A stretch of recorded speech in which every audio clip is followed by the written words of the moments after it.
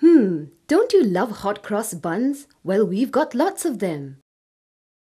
Hot cross buns, hot cross buns. One a penny, two a penny, hot cross buns. If you have no daughters, give them to your sons. One a penny, two a penny, hot cross buns. Hot cross buns, hot cross buns. One a penny, two a penny, hot cross buns. If you have no daughters, give them to your sons.